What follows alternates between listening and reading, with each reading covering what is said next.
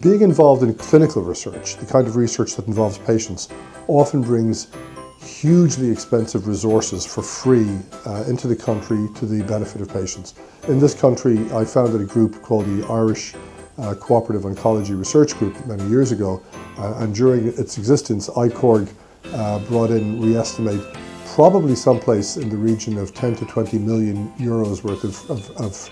cancer drugs for free that, that became very standard drugs afterwards. It also meant that patients got access to these drugs more quickly than they would have done if they were depending on the drugs being approved following research in some other country.